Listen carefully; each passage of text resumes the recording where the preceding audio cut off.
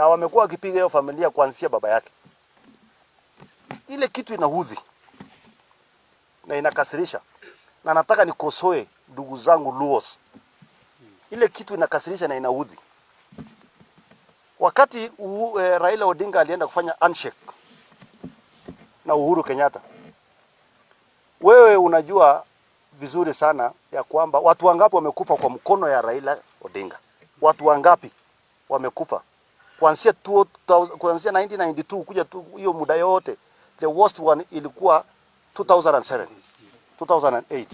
Although waliwekelea watu makosa watu wengine, lakini Wakenya wanajua vizuri sana watu wangapi walikufa, wajiluo ngapi walikufa 2017, wajiluo ngapi wamekufa. Juzi nimeshangaa bado wajiluo wanaenda kwa barabara. Tumepoteza polisi, tumepoteza ndugu zetu kama waine kwa hii maandamano hii ya jana hii. Wamechoma msikiti, wamechoma kanisani, lakini maajabu, badala ya kwenda kuambia pole wenye wamewawa ama kwenda kuangalia ama uamuke kwanza asubuhi uambie watu wako tunaenda kufanya maandamano, lakini msipore mali ya wenyewe.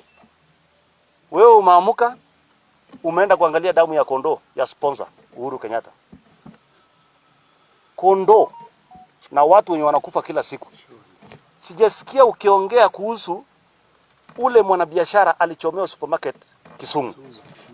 Sijaongea ukio, sija, sijasikia ukiongea kuhusu ule mwanabiashara wa Pistop aliporwa mali yake Kisumu, baa yake na kila kitu.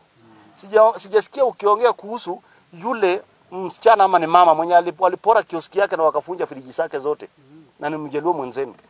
Sijasikia ukiongea kuhusu ndugu zako ama watoto wako ama vifaranga vyako wenye wameingia mochari mochari, imagine wameenda wamefunja mochari, wamechukua computers, wamechukua nini, nasikia hata karibu wachukue sanduku zilikuwa huko ndani.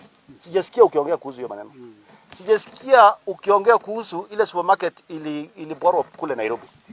Sijasikia ukiongea kuhusu maofisi zote za UDA zikichomwa.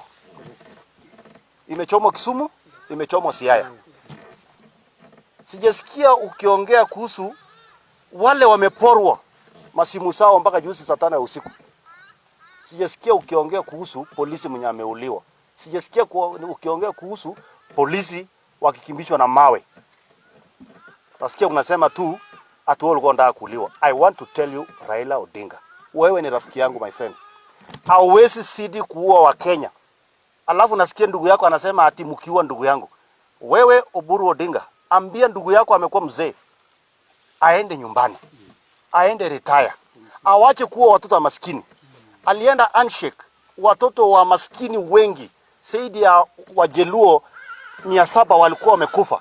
Angeenda hata ambie Uhuru Kenyatta hata wapatie hao watoto eh, elfu mia nne mia nne ama mia tano. Alienda peke yake. Tukiongea leo, mtoto wa Uhuru Kenyatta ni mjumbe, ndugu yako Oburu Odinga ni senator, wewe mwenyewe unapigania nusu mkate, dada yako ni women rep. Shame on you Wajaluo na viongozi ya Wajaluo, nyinyi ni wakumbafu because William Ruto leo ni Mkalenjin, hawezi akatufanyia vitu zingine, tuwezi tukakubali.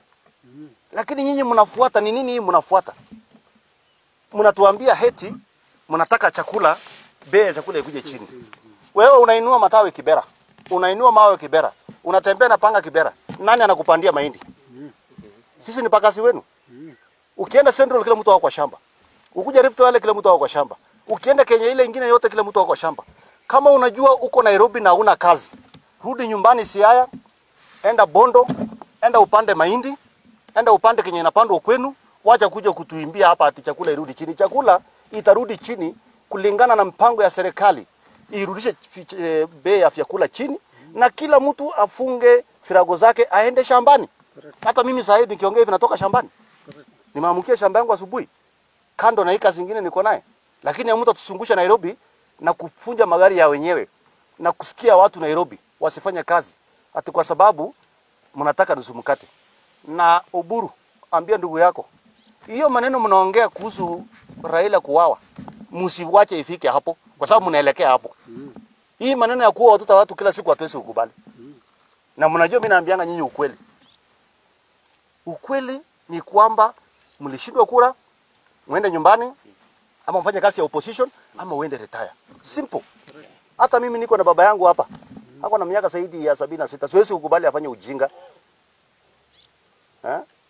Hatuwezi kukubaliana hii Kenya ikuwe ya mtu mmoja tu. Mwaka 40 unazungusha watu na unaongea. Na mimi nataka niwaambie.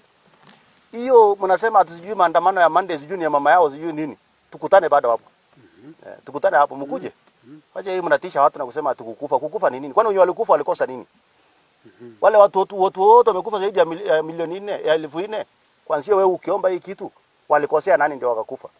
Ndio ikikuwa ati inji itasimama, inji itasimama ita, so nini itasimamisha inji? Mimi nikikufa leo inji itasimama? Hawa MCS walikufa inji itasimama? Tuache ujinga. Hii Kenya ni ya Kenya zaidi ya Wakenya milioni hamsini. Tuheshimiane. amwezi kuwa kwa kona moja hapa mfanye kazi na kusumbua watu Kenya hii. Haiwezekani.